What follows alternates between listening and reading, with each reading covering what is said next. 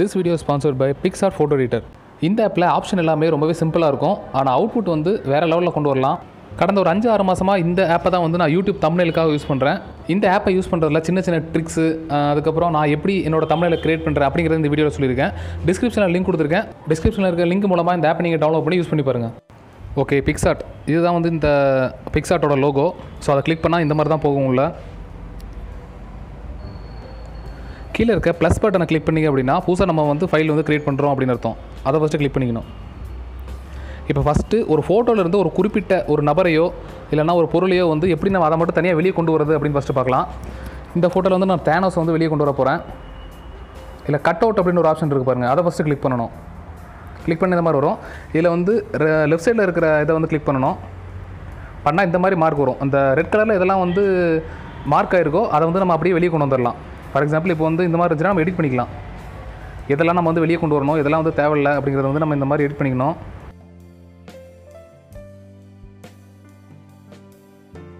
இந்த மாதிரி நம்ம கட் அவுட் பண்ணி வெளியே எடுக்க வேண்டியதெல்லாம் மார்க் பண்ணிட்டீங்க அது அப்படின்னா மேலே இருக்க சேவ் பட்டனை கிளிக் பண்ணிங்க அப்படின்னா அது மட்டும் தனியாக துண்டாக வந்துடும் இது வந்து ஆல்ரெடி வந்து மை ஸ்டிக்கர்ஸில் போய் சேவ் ஆகிக்கும். இப்போ தேனஸோட உருவத்தை மட்டும் தனியாக வெளியே எடுத்தாச்சு. நீ போய் நியூ ஃபைல் கொடுக்குறேன். கொடுத்து ஃபஸ்ட்டு வந்து ஏதோ ஒரு ஃபோட்டோ கிளிக் பண்ணிக்கணும். இல்லைனா வந்து பேக்ரவுண்ட் ஒரு ஃபோட்டோ எடுத்துக்கணும். நான் வந்து கலர் பேக்ரவுண்டில் வந்து ஒயிட் கலர் செலக்ட் பண்ணுறேன் இந்த மாதிரி இருக்கா? இதில் டூல்ஸில் போய் கிராப் அப்படின்னு ஒரு ஆப்ஷன் இருக்குது அதில் போனீங்க அப்படின்னா இப்போ யூடியூப்பில் தம்னேல் அப்படின்னா அதுக்கு தனியாக ஒரு ஆப்ஷன் கொடுத்துருக்காங்க. இதில் வந்து ஃபேஸ்புக்கில் போஸ்ட் போடுறது கவர் ஃபோட்டோ போடுறது ட்விட்டரில் போஸ்ட் போடுறது யூடியூப் தமிழ் இதெல்லாம் சைஸ் வகையாக கொடுத்துருக்கு. நம்ம எந்த சைஸில் வேணுமோ அந்த சைஸில் வந்து நம்ம ஃபஸ்ட்டு கிராப் பண்ணிக்கணும். இப்போ வந்து எனக்கு தெரிஞ்ச ஒரு சில டிப்ஸ் சொல்கிறேன் இதில் ட்ராவில் போய் கலர் கொடுத்தீங்க அப்படின்னா இந்த மாதிரி ஒரு இது ஓப்பன் ஆகும். ஒரு ஆப் ஒன்று டவுன்லோட் பண்ண சொல்லும். அதை டவுன்லோட் பண்ணிட்டீங்கன்னா ரொம்ப யூஸ்ஃபுல்லாக இருக்கும். இல்லை லெஃப்ட் கார்னரில் இருக்கிறது வந்து நம்ம கலர் சூஸ் பண்ணுறது அந்த இப்போ நான் கிளிக் பண்ணியிருக்க ஆப்ஷன் வந்து ஸ்ட்ரோக் அப்படின்ட்டு இருக்கா? அதில் வந்து ரவுண்ட் நான் கிளிக் பண்ணுறேன் அப்படின்னா அந்த நம்ம இதுக்குள்ளே ரவுண்டாக வந்து ஒரு ரவுண்ட் போட்டுக்கலாம். அந்த மாதிரி வந்து ட்ரையாங்குள் எல்லா ஷேப்புமே இருக்குது இந்த மாதிரி ரவுண்ட் போட்டுக்கிட்டோன்னா இப்போ வந்து ரைட் சைடில் கார்னரில் ஒரு ஆப்ஷன் இருக்குது பாருங்கள் அது வந்து கலர் ஃபில் பண்ணுறது ரைட் சைடு கார்னர் கார்னரில் இருக்கிற ஆப்ஷன் வந்து கலர் ஃபில் பண்ணுறது அதை கிளிக் பண்ணிட்டு அப்படின்னா இந்த கலரை சூஸ் பண்ணதுக்கப்புறம் நம்ம பவுண்ட்ரிக்குள்ளே எங்கே நம்ம கிளிக் பண்ணுறோமோ அந்த பவுண்ட்ரிக்குள்ளே அந்த கலர் வந்து ஃபில் ஆகிடும் இந்த மாதிரி. அதுக்கப்புறம் இப்போ நான் கிளிக் பண்ணுற ஆப்ஷன் பார்த்தீங்கன்னா இது வந்து நம்ம எந்த ஒரு ஃபாண்ட் வேணாலும் இது பண்ணிக்கலாம். லைஃப் இஸ் பியூட்டிஃபுல் அப்படிங்கிறத கிளிக் பண்ணி நம்ம என்ன வேணால் எழுதிக்கலாம். எழுதணும் அப்படின்னா என்ன சொல்கிறது அப்படி நம்ம அப்படி வச்சு அப்படியே இழுத்தோம் அப்படின்னா வந்து அந்த லெட்டர்ஸ் வந்து தொடர்ந்து வந்துகிட்டே இருக்கும் ட்ரெயின் மாதிரி. இதை பாருங்கள் ஹால் திம்லா அப்படிங்கிற நான் இது பண்ணியிருக்கேன். இது வந்து கலர் நான் சூஸ் பண்ணுறேன் பாருங்கள் இந்த மாதிரி வந்து அப்படியே வத்து வச்சு இழுத்தோம் அப்படின்னா ஹாலி திம்லா ஹாலி திம்லா ஹாலி திம்லான்னு சொல்லிட்டு அப்படியே வந்துட்டு இருக்கோம். ஸோ இது வந்து டெக்கரேஷன் அந்த மாதிரி ஸ்டஃபுக்கு வந்து இந்த இது வந்து ரொம்ப யூஸ்ஃபுல்லாக இருக்கும் இந்த ஆப்ஷன் ஓகே இப்போ வந்து விஷயத்துக்கு வருவோம். போய் ஆட் ஃபோட்டோ அப்படிங்கிறத கிளிக் பண்ணுறேன் கிளிக் பண்ணி நம்ம தமிழுக்கு எந்த ஃபோட்டோ இருக்கணுமோ அந்த ஃபோட்டோ வந்து அப்படியே இது பண்ணிக்கலாம்.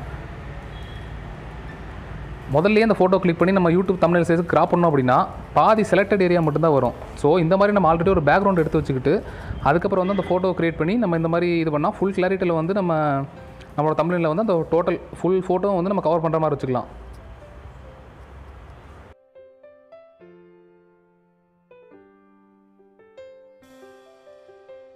இப்போ வந்து ஸ்டிக்கர்ஸ் அப்படிங்கிறத கொடுக்குறேன். இதை கொடுத்தா அப்படின்னா ஆல்ரெடி நம்ம தேனோஸை வந்து கட் பண்ணி வச்சுருந்தோம்ல. அதை வந்து நம்ம இதில் போய் பார்க்கலாம். மை ஸ்டிக்கரில் போய் கட் அவுட்ஸுங்கிறதுல வந்து நம்ம இதெல்லாம் கட் பண்ணி வச்சுருக்கோமோ அதெல்லாம் அதெல்லாம் இருக்கும். ஸோ இப்போ தேனோஸை கிளிக் பண்ணுறேன் கிளிக் பண்ணி எங்கே பிளேஸ்மெண்ட் வேணுமோ அங்கே போய் வச்சுக்கலாம். பிளேஸ்மெண்ட் பண்ணதுக்கப்புறம் கீழே எஃபெக்ட்ஸ் அப்படின்னு கொடுத்தீங்கன்னா நிறைய எஃபெக்ட் இருக்கும். அதில் ஏதாவது எஃபெக்ட்ஸ் நம்ம மாற்றணும் வேணும் அப்படின்னா வந்து அந்த எஃபெக்ட் வந்து நம்ம செலக்ட் பண்ணி வச்சுக்கலாம். எனக்கு வந்து எஃபெக்ட் எதுவும் வேண்டாம். அதனால் வந்து நான் கொடுத்துட்றேன்.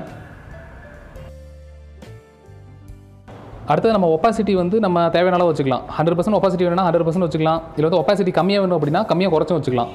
அதுக்கடுத்து பார்டர் அந்த ஃபோட்டோவை சுற்றி ஒயிட் கலர் பார்டர் வந்துருக்கு பாருங்கள் இது பிளாக்கு ப்ளூ நம்ம எது வேணால் பார்டர் செலக்ட் பண்ணிக்கலாம். ஆல்சோ பார்டரோட திக்னஸ் எப்படி இருக்கணும் அப்படின்னு நம்ம வந்து செலக்ட் பண்ணி வச்சுக்கலாம். ரொம்ப திக்காக வேணும் அப்படின்னா திக்னஸ் வந்து கூட்டி வச்சுக்கலாம். இல்லை திக்னஸ் கம்மியாக இருந்தால் போதும் அப்படின்னா என்ன மாதிரி கம்மியாக வச்சுக்கலாம். ஆல்சோ இதுக்கு முன்னாடி அயன்மேனோட ஃபோட்டோ ஒன்று கட் பண்ணி வச்சுருந்தேன். ஸோ அந்த ஃபோட்டோவையும் நம்ம இமேஜுக்குள்ளே கொண்டு வந்துக்கிறேன்.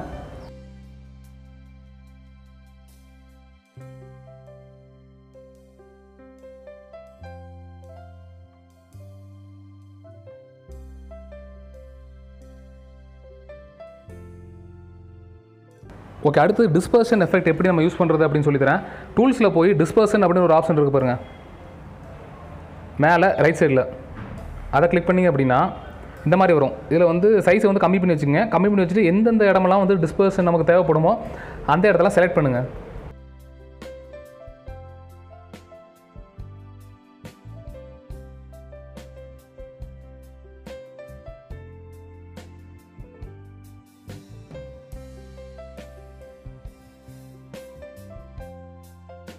செலக்ட் பண்ணி ஓகே கொடுத்தீங்க அப்படின்னா டிஸ்பர்ஷன் எஃபெக்ட் வரும்.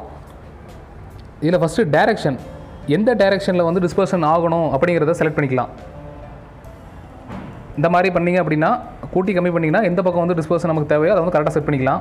அடுத்து சைஸ் டிஸ்பர்ட் பார்ட்டிகல்ஸ் வந்து எந்த சைஸில் வேணும் அப்படின்னு நம்ம இது பண்ணிக்கலாம். ரொம்ப பெருசாக இருக்கணுமா இல்லை ரொம்ப மைல்டாக இருக்கணுமா அப்படிங்கிறத இந்த ஆப்ஷன் மூலமாக செலக்ட் பண்ணிக்கலாம்.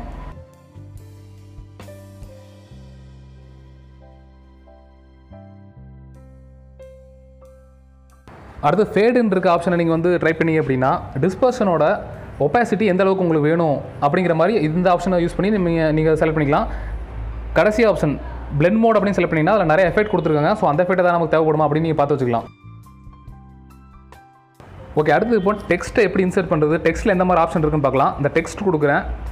கொடுத்துட்டு என்ன டெக்ஸ்ட் நம்ம உள்ள உள்ளே இன்சர்ட் பண்ணுமோ அதை ஃபஸ்ட்டு வந்து டைப் பண்ணிக்கங்க.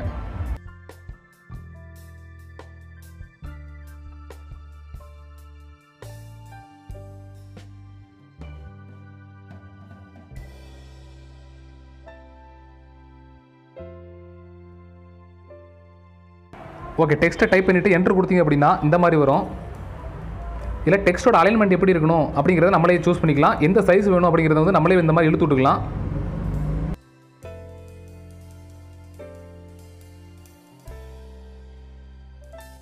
அதே மாதிரி டெக்ஸ்ட்டோட ஃபண்ட் வந்து எப்படி இருக்கணும் அப்படிங்கிறத நம்மளோட ரசனைக்கு ஏற்ற மாதிரி இந்த மாதிரி மாற்றிக்கலாம்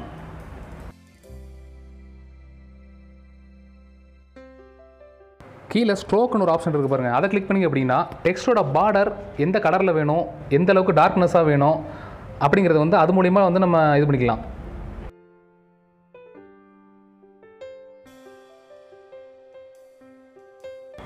சென்டரில் இருக்க கலர் ஆப்ஷனை கிளிக் பண்ணிங்க அப்படின்னா டெக்ஸ்ட் என்ன கலரில் வேணும் அப்படின்னு நம்ம செட் பண்ணிக்கலாம். ஓகே இப்போ வந்து டெக்ஸ்ட்டு கிளிக் பண்ணியாச்சு. இனி அடுத்து வந்து இன்னொரு ஃபோட்டோ நான் கிளிக் பண்ணுறேன் பண்ணி இந்த பிக்ஸார்ட்டோட லோகோ போடுறேன். இதை கிளிக் பண்ணிவிட்டு கீழே கட் அவுட் அப்படிங்கிற ஆப்ஷனை கிளிக் பண்ணி அப்படின்னா இந்த மாதிரி வரும். இந்த மாதிரி நம்ம மார்க் பண்ணிவிட்டு சும்மா ரஃபாக மார்க் பண்ணிவிட்டு மேலே என்ட்ரு கொடுத்தீங்க அப்படின்னா இந்த மாதிரி அதே ஷேப்பாக கிராப் பண்ணி கொண்டு வந்துடும் கட் அவுட்டு ஸோ இதில் உள்ள ஏதாவது இந்த மாதிரி பிசு இருந்துச்சுன்னா நம்ம இது கொடுத்துட்டு சேவ் கொடுத்தோம் அப்படின்னா அது மட்டும் தனியாக வந்துடும் ஸோ அதை வந்து நான் தம்னைல் வித் அப்படிங்கிறதுல வந்து நான் போய் வச்சிடுறேன். அடுத்து அதே மாதிரி ஒரு ஃபோட்டோ ஆட் பண்ணி என்னோட லோகோ வந்து கரெக்டாக நம்ம எல்லா தமிழிலும் பார்த்தீங்கன்னா என்னோட லோகோ வந்து ரைட் சைடு மேலே வச்சுருப்பேன். ஸோ அந்த மாதிரி வந்து ஃபிக்ஸ் பண்ணிடுறேன்.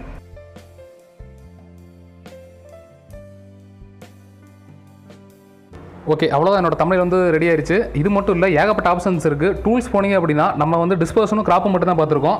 அதுபோக ஃப்ளிப்பு ரொட்டேட்டு அதுக்கப்புறம் இந்த மாதிரி ஏகப்பட்ட ஆப்ஷன்ஸ் இருக்குது ஸோ அதே மாதிரி எஃபெக்ட் பார்த்தீங்கன்னா எஃபெக்ட் ஒன்று கிளிக் பண்ணிங்கன்னா வந்து பிக்சர் ஒவ்வொரு மாதிரி வந்து எஃபெக்ட் வந்து சேஞ்ச் ஆகும். ஸோ அதில் ஏதாவது பெஸ்ட்டாக இருந்துச்சுன்னா அதை வந்து நம்ம யூஸ் பண்ணிக்கலாம்.